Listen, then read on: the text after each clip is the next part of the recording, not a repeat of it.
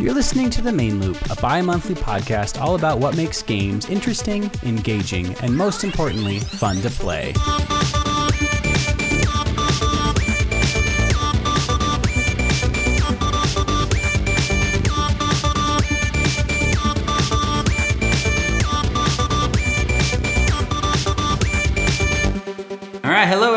Everyone, welcome to episode 15 of The Main Loop. I am Sean, and I'm joined once again, as always and forever, by Stu. Howdy. We're IRL again, which is good. This is weird. I know. I'm like looking at your face it's gross. Not in like Skype in delay. real life. I'm just happy we did it after you grew your beard back. That's true. That was a rough I'm not week. sure I would have been able to have been in the same room. That was a rough week. would have uh, slowly walked away. Yeah. Well, it's a nice summer day. It's uh, almost America Day here in the States. America. It's the third of America. So July, the month of July is just America. It should just be called America. Lots of should go June, America, August, September, October, Pre and post cold, America. Christmas. Yeah. So uh, some follow up from two weeks ago, two episodes ago. Stu finally wrote about randomness in Hearthstone and Magic. Yeah, not not not two weeks ago. Nearly two months ago. Fun times. Yeah, I fi- finally got around to publishing my thoughts. Um, pretty much summed it up with the stuff we talked about uh, in episode 13, so I don't want to rehash it here, but um, y'all should check that out. You can find it at amateurmythology.wordpress.com. Yeah. I don't feel embarrassed saying that URL at all. Hey, domain names are expensive. True, that, that is fair. Yeah.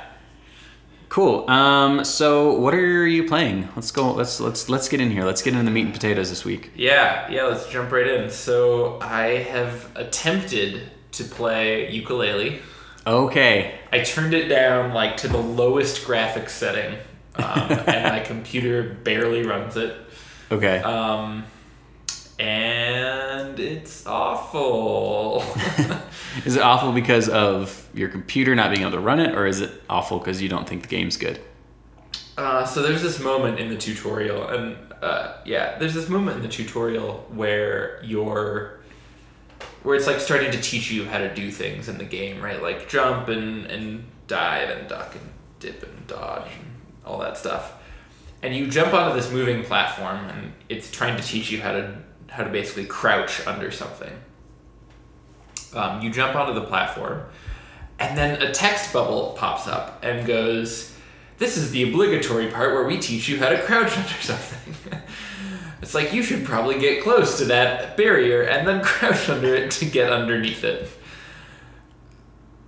And it's like that for the entire game, Okay. at least for the first hour and a half that I played through. That's just like so self referential and like copies all of these really bad design decisions from like 20 years ago Yeah. like one to one. So the like tutorials are just like text scrolling across the screen. Right. It like references the fact that it's a game every other text bubble where it's like at this part of the game we should probably do this obligatory thing. And it's like ah, I'm not. So the joke wears out. The joke's not funny. No. Yeah. It's not. And it's just like it, Because making it re- like referencing the fact that you're doing the annoying tutorial thing doesn't make it any less annoying. Yeah, I think someone just made a design decision to be like, we're just gonna. It's basically a remaster in a lot of ways. It's not really a new game. Yeah. And someone just made a design decision that this is gonna be a remaster and we're gonna copy all of the old elements and uh, go from there. And it just, it just falls completely flat. I mean, obviously, I never played Banjo Kazooie. I like kind of heard about it and always wanted to. Yeah. So like maybe I'm not the target audience, but I would find it really hard to get into it just because I was expecting something that was kind of like a new interpretation. I was like willing to kind of struggle through it a little bit, but It's not what they gave you. yeah, it's it's like not even worth trying to fight through and, and maybe I would be a little more happy if I could like see the beautiful graphics cuz Right. Yooka and Laylee are both like gorgeous character models, and they're really cute and fun. But like, there was this one puzzle I was I was trying to go through. You're like trying to collect these pages. Yeah. That an evil character is trying to use to take over the world. And there's this one puzzle where a page has been ripped up and torn, and like the the little parts of the page are somewhere in this part of the world. Um, and all you're doing is, is going and looking for the, the pieces. Yeah. And I was like, this is something where like in Mario 3D World or something that would have been that I would like really enjoy, like that Yeah. type of puzzle. Um, and I didn't here, and I thought that was really telling, just because I I didn't feel like I was kind of learning through the puzzle or like Yeah. experiencing cool things. It was just kind of like there's some pieces of paper lying around, gotta find them. That's always weird when like you come to a moment in game and and you feel the feeling of I've done this exact thing in other games and had fun, and I'm doing it in this game and not having fun, and can't even put my finger on why, but it's just not like it's not working. And it's I feel like a lot of things work super well on paper, and like the concept is really sound, and then the it doesn't feel like the like the polish and effort goes into actually like implementing it. Like oh it's a it's a you know it's got this quick jumping phase. People love or it's got a, a big wall jump section. People love wall jumping. It's always been fun. But if you don't like actually take the time to like tweak it and play through it and make sure it feels fun like you're just doing it for the sake of doing it and that doesn't it doesn't equal profits Yeah, and, and I think it also says to me that like Nintendo has kind of perfected the 3D platformer. Like, yeah like I guess Mario 3D World isn't technically that, but it, it uses a lot of those elements. And Right. like, if you're gonna do the cute 3D platformer thing, yeah you either have to do something very very different, or just like knock it out of the park. yeah Because you're always gonna get compared to whatever the latest Mario is. hmm And that's a really tough comparison to make because you're like no indie studio is ever gonna have time to polish those Right. mechanics the same way Nintendo does. Um, and and I think that's just a, a challenge moving forward that companies kind of have to reckon with. That if you want to do something indie and different and be like a very particular art style or have a cool narrative, I think those all work. But just trying to do the we're gonna be a cute platformer right is tough. Well, and it's a bummer because like Rare did, like Nintendo really like okay, Super Mario sixty four comes out, blows everybody's mind, and then that's like, well, this is the new, this is how you make games. Like this is what a three D game should be. And then Rare came along and really perfected that throughout the life of the sixty four with Banjo Kazooie and Banjo Tooie. Donkey Kong 64, you know, arguably it had, it had its issues, but it was very ambitious. Um, Conker's Bad Fur Day, like these really, they're still like the benchmark of great 3D platforming games. And I don't know, I'm bummed that Yooka-Laylee is just not, it doesn't seem like it's living up to its its heritage. And it, and it seems like it tried too hard to to like we're gonna we're gonna really like recapture the glory days of Banjo Kazooie, and if people want that, they'll they'll get out there in '64 Yeah. and they'll play Banjo Kazooie. it's just it's just really weird because when I think of a remaster, Yeah. you kind of just get to make those excuses, right? Like, oh, we don't Yeah. want to change the game. You're really just coming to play it for all of the fun times you had, but it's really pretty now, which is Right. as pretty as you probably think you remember it was. Yeah, And that's fun because like every time you go through a level, you can at least like get the remembrance of oh I went through this level, it was fun. Right. Maybe I'm not having as much fun now, but it's still cool. Ukulele doesn't have any of that. I mean, Hmm.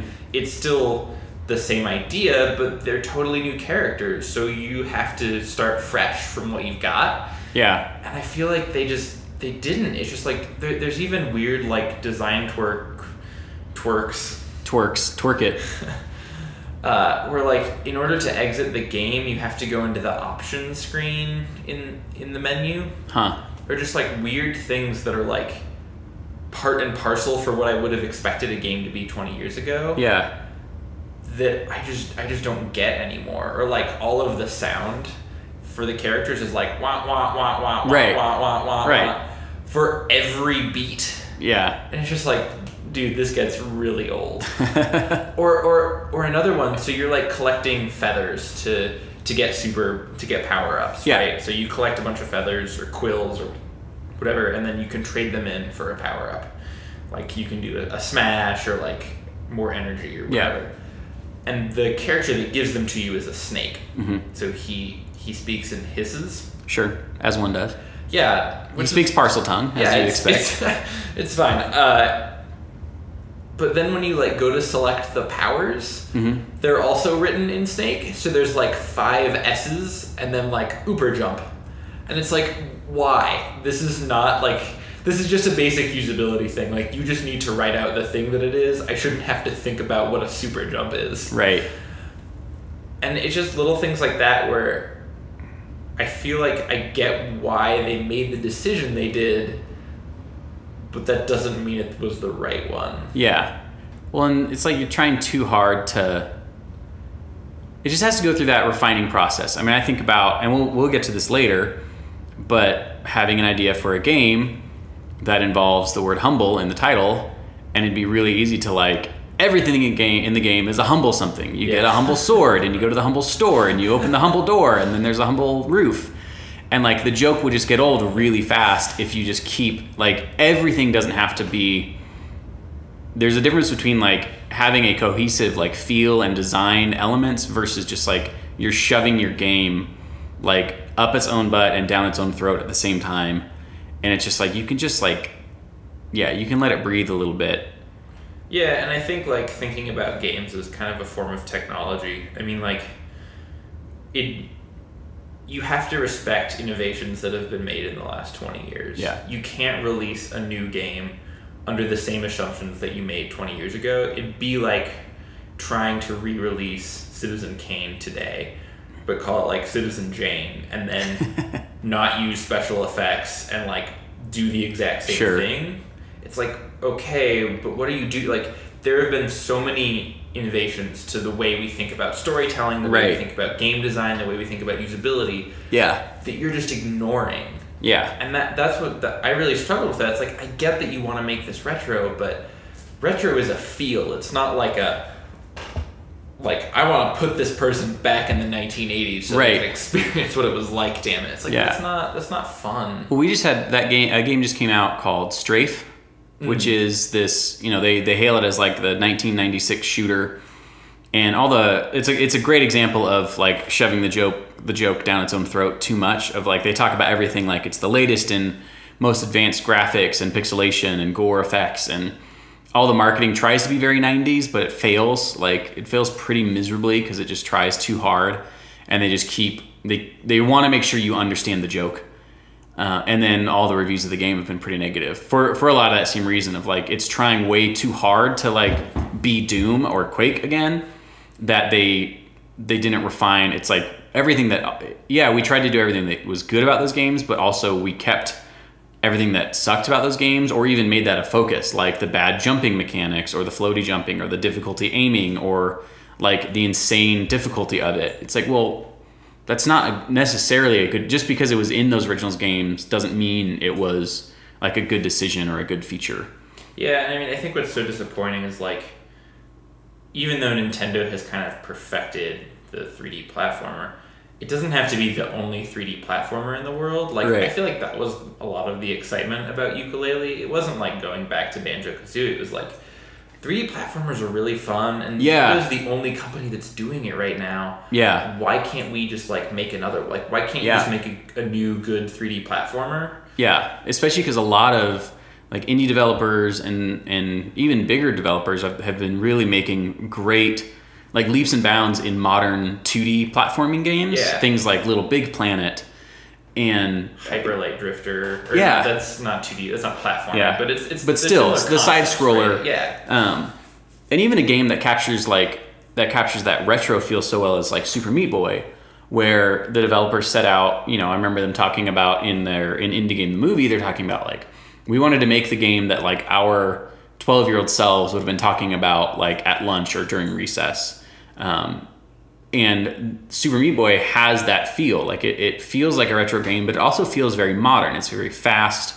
Um, the mechanics, it, it feels great on like a PS4 controller, and it and it looks good. Like it's still very modern. it takes advantage of memory to like do the really cool display thing at the end where you Yeah. you die over and Exactly. over. That's really awesome. Yeah, and so they they did cap- capture that. Oh, this feels like the kind of game I would have loved as a kid, versus this feels like a game I played as a kid. Yeah, the you know? literal game. Yeah, because if I wanted that, like I would just download an emulator or go to my local used game store and get Super Mario Brothers again or get Banjo Kazooie, and I would actually play that. Uh, yeah, Yeah, so just kind of wrap that up. Uh, uh, Super Lucky's Tale is coming out for Xbox next year. yeah, Very similar concept about like trying to remake a platformer. Yeah. Interesting though, they're trying to put it in 4K. And kind of, I, I don't really care about that, but it suggests to me that they might be trying to do a new take on it Yeah. instead of just like, here's another old thing. right. And I'm kind of curious to see what they do um, and like contrast it with sort of what happened with Yooka-Laylee. Yeah.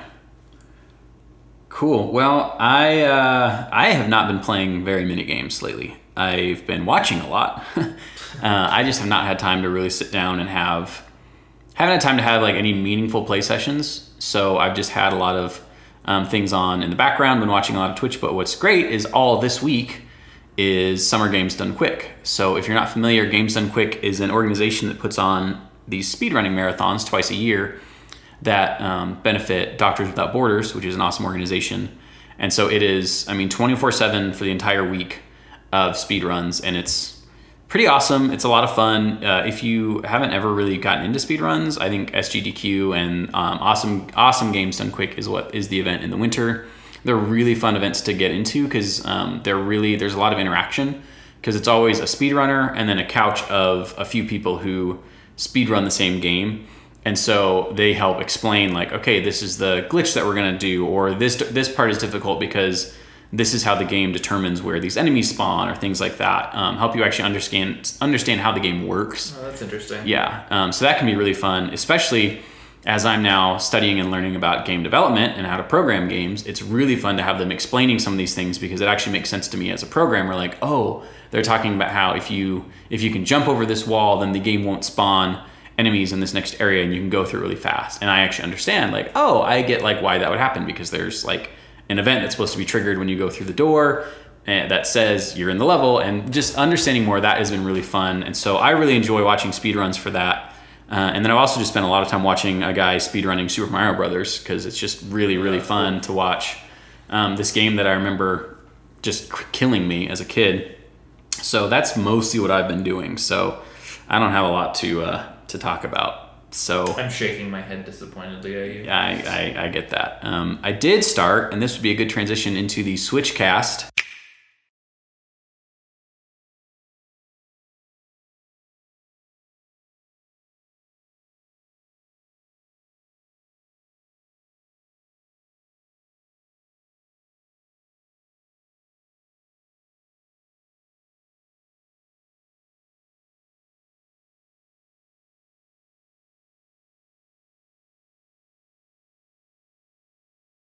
Yeah, let's do it. I the uh, first DLC pack for Breath of the Wild was released on Friday, so today is Monday, July third. So this came out three days ago. And so this is for you pay for both of them up front, right? Correct. And then you, Yes. This one comes out now, and then you get the second one in the winter. Right? Correct, correct. So this one is the Master Trial, uh, and so this includes the uh, hard mode, which people were excited about, and as well as some new uh, gear, new armor sets to find, and then the Master Trial, which is this. Uh, most Zelda games have had this, where you like go into an area that ha- you get no equipment, and if you can get through all 40 dungeons or whatever it is, then you get some big power up. In this case, you get the Master Sword is always fully charged instead of having to wait, so you will just be OP for the rest of the game. So I'm definitely working on doing that. Um, but the hard mode sounds legit, as in like the hardest enemies in the game, these Lynels, will spawn in these in the opening zone, forcing you to like sneak around naked and afraid to avoid drawing their attention because there's there's nothing you can do. There are only four in the uh, the broader like Hyrule before the castle, right? There's like four spots where the Lynels. I exist. think so. There's like the mountain pass. There's another one in the snow. Yeah. There's like the electric Lynel. And Yeah. I think there's one more. Yes. And those are like the and you know where they're at and you can and you stay them. away from them because they will wreck you. Yeah, there was this actually one time, just in the regular mode, I was like kind of flying across some snow capped hills. Yeah. And then I just like take a billion damage and start falling. I was like, why did that happen? And I, as I'm falling, I look down and I just see a snowy Lynel there. I'm like, oh, He shot me out I'm of the sky. I'm yeah. gonna probably die now. Yeah, it's it's a bad place, and so those guys can spawn in the opening zone of the hard mode. So they're, I mean, this is legit. I think people were probably going, "Oh, Nintendo doing Yeah, the hard mode, Nintendo, haha, lol, this will be no problem." And then it's like, "Oh crap." There's a Lynel, and he got angry, and he lit the whole field on fire, and I have nowhere to hide. And then he shot me out of a tree, and I'm dead. So I'm not doing hard mode. I'm not a hard mode guy. I'm a normal mode for life Yeah. type player. And we we talked about that actually a couple episodes ago. Uh, I'll find the episode to for past reference, but where we talked about hard modes versus normal modes in gaming and not liking when you feels like you're missing out on the real experience by not playing the hard mode. This does not sound like that. This No. sounds like if you really want to punish yourself, do hard mode. So If you want to play Dark Souls in Hyrule, yes, exactly. nailed it. yeah, The Legend of Zelda Souls. So that's out. And other than that, I did get a nice Switch portability test this week uh, at Denver Comic Con. I took my Switch with me, um, played it with a buddy in line for some panels, performed admirably. It's Sweet. very easy to quickly like get it out of my little case and pop the little Joy-Con thingies with the buttons that you need. Otherwise, they suck. Yeah, yeah, the Punchy Con extenders. Pop those on, play some Mario Kart in line, and then really quickly pack it up when it's time to move. I mean, it was awesome. Like I couldn't believe how like admirably it performed as a totally portable. Hey, we have 30 minutes to sit and play Mario Kart. Let's do it. Well, that's nice. So- That's actually really exciting. Yeah. Then something I learned about the Switch that maybe uh, you knew, and I'm going to be an idiot. I'm sure everyone know, knew this. I did not realize that in the Switch dock, of course, there's the power input, which is a USB C plug-in. Yep. There's the HDMI out. Yep. Then there's a USB Type A plug, and that's for your Pro controller cord to charge Oh. instead of plugging it into the wall charger. So I've had my Pro controller like over on like a coffee table plugged in like like it's an iPhone charging station. And then I was listening to uh, I think the I Accidental yeah I was listening to the Accidental Tech podcast, and one of them mentioned like hey the Switch dock is great because it's got this other port and I have my Pro controller and I was like that's what that's for. Sure enough, plug that in. Now my little now it's all in one area and it's yeah Do I have to complete hard mode to, to get this? Yes, you have to complete the Breath of the Wild DLC, and then the port opens up. Okay. Yeah. Otherwise, it just takes you to the store every time you plug in your Pro controller.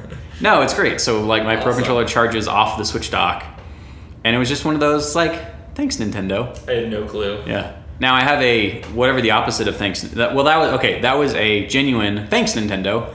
Here's my uh, thanks, Thanks, Nintendo, Nintendo. with sarcasm. Uh, I had to.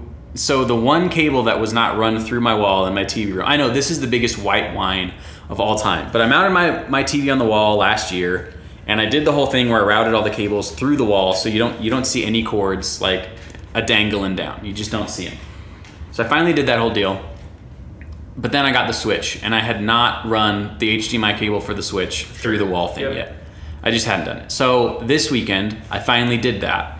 Ran everything through. I had a bad audio cable I had to replace anyway, but I get the HDMI cable for the Switch run through, and I realize it is about nine inches, maybe eight inches shorter than the other HDMI. The HDMI cable for the Apple TV and the HDMI cable for uh, my cable box all seem to be a standard length.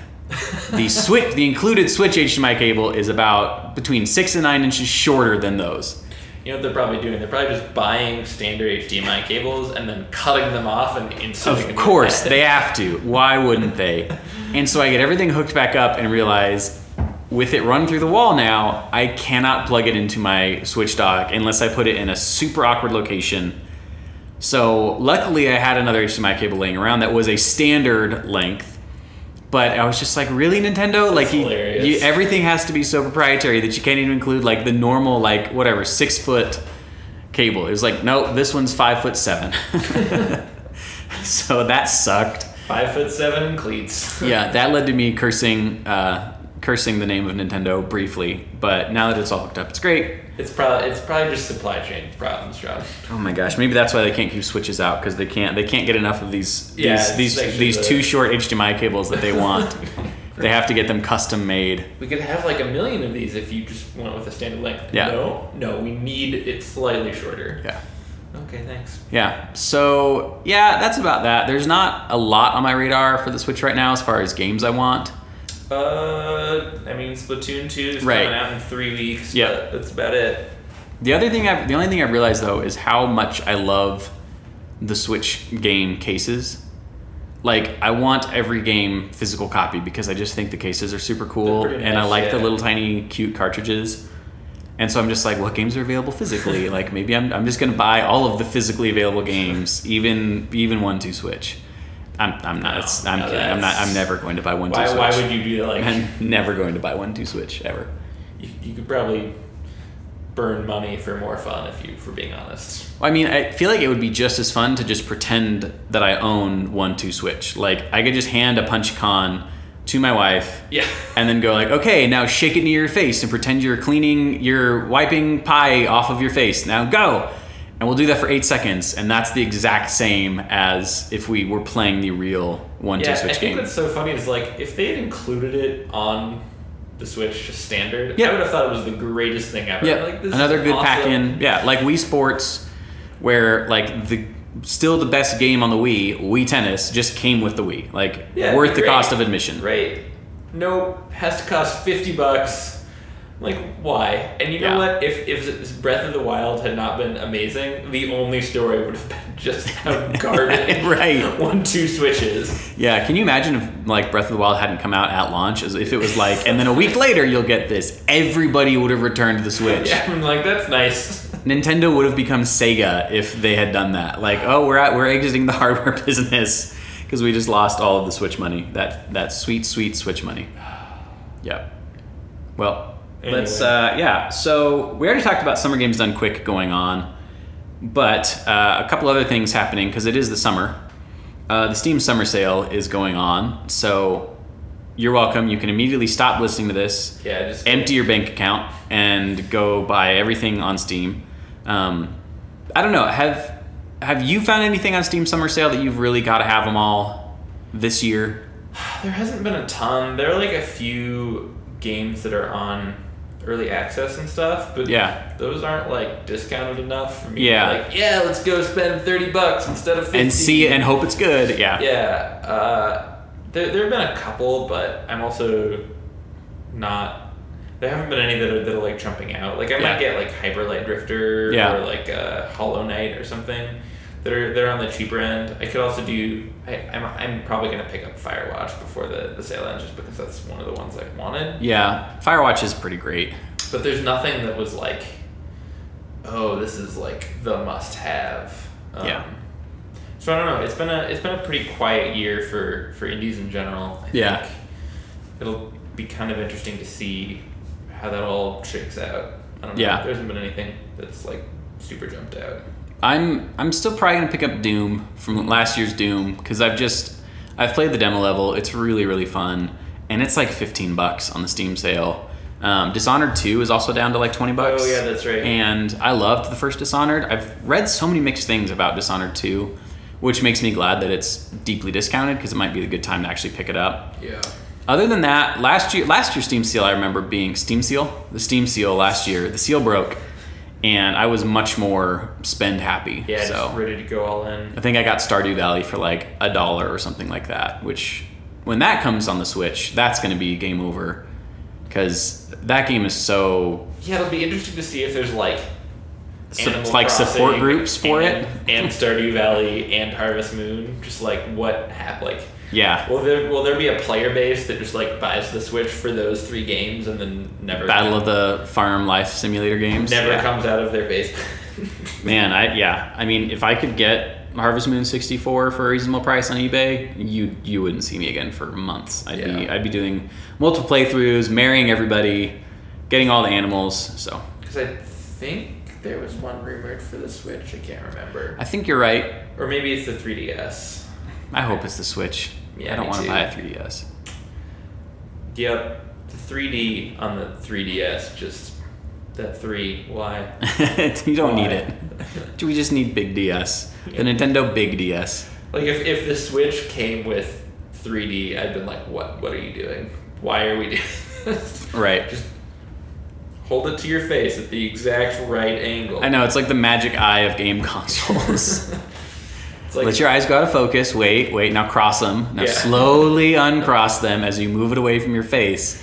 Oh, I see it. I lost it. I yeah, lost it. either, either you see it or you vomit. That's those are the two options.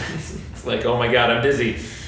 Anyway, Well, we do have some big news uh, for us Denverians. If you didn't know, Stu and I are both in Denver, Colorado. And I did not realize this. we don't even know that Sometimes we have no idea where we are. Uh, DreamHack is coming to Denver this year, so which is kind of a big freaking deal.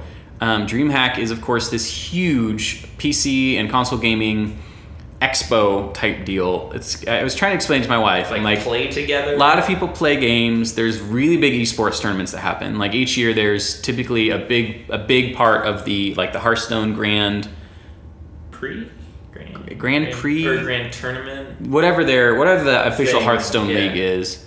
It's not the HGC because that's the heroes. Yeah, it's the but it's the HTC, some- HCT. Hearthstone I think Championship it's HCT Grand. because I always think they're talking about the TV, and I'm very confused. anyway, um, but yeah, there's typically a big Hearthstone, like official Hearthstone, Smash Brothers, things like that. And yeah, they're have they recently in the last three or four years they started doing DreamHack in the U.S. in Austin, right? Um, and it's been in Austin this year, coming to Denver in October, which is really cool. So I mean, it's it's a pretty cool event because you can get a, a pass for pretty cheap, and it's twenty four seven access to the event because people are playing all the time. You can also get a LAN seat, and so you actually Yeah, get space at a table with um, a LAN connection, and then you they're they're doing like bring your own computer or console like amateur tournaments and stuff. So it's really cool. Um, it's just really cool that it's happening in Denver because it's it's just putting us more on the map. And yeah, so there's going to be some official Hearthstone stuff, a big uh, Super Street Fighter V tournament, some Smash Brothers, and I think Counter Strike is the other big CS:GO. I think is the other big like Sounds about right. the whatever that league is called is going to be happening as well. So that's really cool. I'm looking forward to that. Yeah, And- it'll be fun. yeah, and we may do some live live yeah. recording or Whoa. meetupery type stuff there. So yeah, be on the lookout for that. That's uh, October 20th through the 22nd in Denver. So for all of you Denverites or Salt Lake Cityans or Phoenicians or New Mexicans or Texicans, None of the old. you men. can come to Denver. None of the old Mexicans. They won't come here anymore because of the wall. Oh boy. Yeah. Okay. Yeah. So yeah, that's kind of it for like newsy type stuff. I've been thinking a lot lately. I'm just gonna I'm just gonna Uh-oh. steamroll the show. I know. I've been thinking. Can I slowly back away? Stu's I'm very Stu's scared. pouring himself a shot. No, I've been watching a lot of speed runs and realizing something happened shortly around my 30th, shortly around, shortly around my 30th birthday. I suddenly gained patience for things that involve skill. I have never been a patient man. Mm. I have I have been the classic I only like to do things that I'm already pretty good at because I don't like not being good at things. And that meant as a kid I missed out on a lot of really good games. I remember I would like go to my uncle Matt's house, fire up his NES, play Super Mario Brothers for about 5 minutes until I got to like World 2 3 and I would keep dying. And then I would just pop the game out and pop a different game in and play like as far as I could without dying and then pop that out and play a different game. I never like I had never learned or been taught like the perseverance to like no like be patient, figure out why you're dying, like figure out how to like improve and get past that and like you'll have more fun like actually overcoming these challenges. So fast forward 25 years and now I'm 30 and all of a sudden I'm like I would love to like just sit down and practice like World 4 2 of Super Mario Brothers until like I can actually get through it. And realizing that's actually a really rewarding part of gaming is the actual skill. And the flip side of that is realizing how many games today don't really require a lot of skill out of you. Like they're very linear. They do everything they can to hand things to you on a silver platter. I mean, Nintendo even made like built into Super Mario 3D World, which is like, oh, you died three times in a row. Here, have this suit where you can't die. Like here's easy button built in. And so I don't know. So I was just thinking about like the role of skills um, with a Z in gaming. Um, and I don't know how that's almost like a lost art form of like programming skill, like the require this programming skill requirement into your game. Um, and thinking about really popular games like Hearthstone, where it's like, well, that's not really a skill driven. Like there is skill, but it's not like a, oh, you play 100 games and you you pick up these mechanical skills or things like that. Um, I don't know. Anyway, I'm kind of all over the place, but I really, I, to me, I broke it down to like the types of skills that are needed to like really enjoy games and get good at them are like mechanical skills, obviously, and that varies from game to game. Like Hearthstone doesn't necessarily have a lot of mechanical skill involved. Like, I hope not. That would Yeah. be kind of weird. that would be very weird. Um, but there are like experimentation skills, like being able to actually like objectively like do things, fail at it, and then actually go the next time and figure out, okay, what do I need to do differently, or even just what's going to happen if I jump here. Um, again, going back to like the speedrunners and how they just like find all these crazy. Oh, if you jump into this corner on this particular frame, like you skip the level. It's like that involves a lot of just being willing to experiment and investigate stuff. But then also the the third one is like the personal skills of like patience and composure and not throwing your so you're not throwing your controller at the screen and like taking breaks and being able to play in moderation and like actually like the self-control self-management part that goes into games. And so i don't know. I, I just thought like there's this whole other science of like designing and implementing a game which is the skills that the player is going to need and how do you how do you teach them what skills are needed? Like how do they learn the skills that they need? And then also how do you as the game designer like encourage those and help them develop those skills? Again something like super mario brothers well there's a lot of mechanical skill involved. There is some experimentation involved of like oh you can actually jump closer to the piranha plants than you realize because the hitboxes aren't the hitboxes aren't the full size of the sprite and so you can kind of like you can kind of clip through them a little bit Right. um, and there's also the personal skills of like if you get tilted, you're going to play worse, and so you have to understand like when it's time to take a break or things like that. So I don't know. It's a little open ended, I realize, but it's also a holiday weekend, and why not? YOLO. YOLO. Yeah, I think what I've noticed is that the medium skill cap games have kind of disappeared from the marketplace. So you'll see stuff like Dark Souls, Bloodborne, even like the indie one, the indie versions that's like Hyper Light Drifter. I've said Yeah. that game way too many times this episode, but whatever. Um, that are like super hard. You die a ton. It's all about like really building skill caps, Right. like, learning how to play through the game. And learning patterns, and yeah, And then there's like super easy skill cap games like Angry Birds. Um, no, but even like Super Mario and stuff like that that are more about the experience of playing the game than like puzzling through it. Like at the end of Super Mario 3D World, I was like, this is awesome. I'm learning a lot. Or sorry, I'm enjoying it a lot. I feel Yeah. like I've solved some cool puzzles. I don't feel like I'm a better puzzle solver at the end, the same way I might with you know, something more like Bloodborne, where you're like, oh, I actually can just do this thing that I could not have done at the start of the game. I think that's for me what was so interesting about Breath of the Wild. Um, not to like put it on this massive pedestal, but it kind of was the first medium skill cap game where I was like, I can play through this and not hate everything, but there are actually a lot of skills I have to develop to play well. yeah, Um, and I think that that's pretty rare now. Like most games are like either you're totally easy and like someone with pretty good video game skills can breeze through them, or you're just the opposite end where it's like this is going to be brutal. You're going to play this because it's brutal, right, and that's what you're here for. yeah, Whereas like Breath of the Wild was no, this is actually pretty enjoyable. You're gonna go around, experience a lot of things, but to play the game well, you're gonna have to develop skills as a player. yeah, Um, I hope the success of Breath of the Wild brings some more of that into gaming. yeah, I think we're kind of missing it right now. I, I definitely agree with you. Like a lot of games I'll play through and be like, okay, this is cool. I'm doing things. I'm enjoying doing things. I don't know how much I'm learning about doing things in Right. this world. yeah. Um, Not necessarily improving at something. yeah. And that is interesting about Breath of the Wild because, I mean, when I got through the castle, there's the gatehouse, and there's like big old super tough Lynels in there.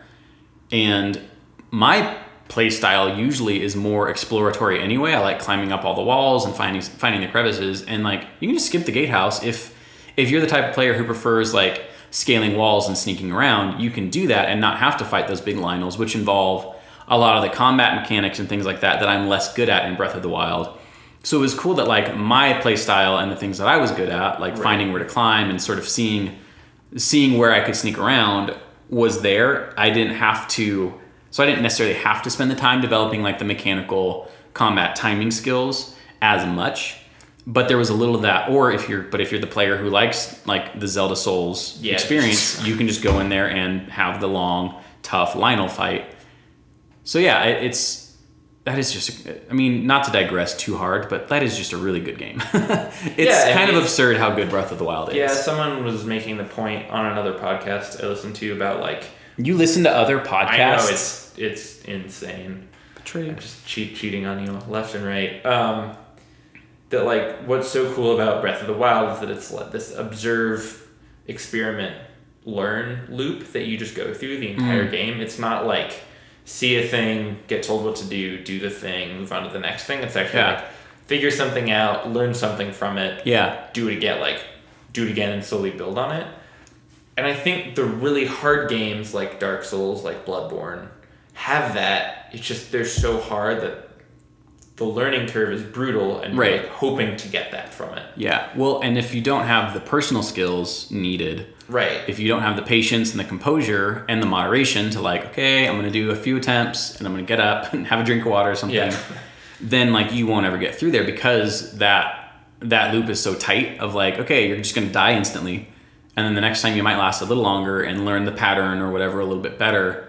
But you need those personal skills, otherwise you'll never enjoy a game like that. Because I know people also enjoy Dark Souls. They don't just do it for the prestige, like they actually Yeah, like they- that. But I watch some people and I'm like, I would not have the patience Yeah. or the composure. I would be freaking like my wife would be she would be listing all of my video game stuff on Craigslist right now if I was playing this because she'd be like, No, we're not doing this anymore. Like this is this is bad.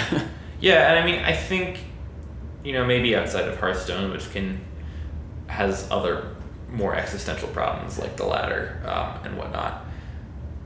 Blizzard tends to do a good job uh, with games like that, where like Yeah. as you play Heroes, as you play Overwatch, you feel like you're gaining skills about understanding and experimenting with the game world. right. And like even a game like Splatoon, I would say, or like Mario Kart, they have a lot of that where you, you just feel like, oh, I learned this secret power up. I, I did this other thing. And I actually think that's some of the reason why esports are so popular right now is that you feel like you're learning as you go. Yeah. Whereas a lot of other RPGs, it's just like, okay, I'm gonna do this thing. It's Yeah. a beautiful story in this like expansive world, but there's no like game to it. Right. And I'm hoping that like maybe with Super Mario Odyssey and stuff, we'll start to see, oh, there are some levels that actually are hard. Like there, most of the game will be like nice puzzles and you're kind of derp around. But I'm hopeful that part of the game will be like, oh, there actually is a skill curve. There's a learning curve. You're Right. gonna grow as you play this. Yeah. Um, that's again, I keep tying back to speedrunning, but I've, it's just, it's more and more interesting to me the more I watch it and the more I think about trying it.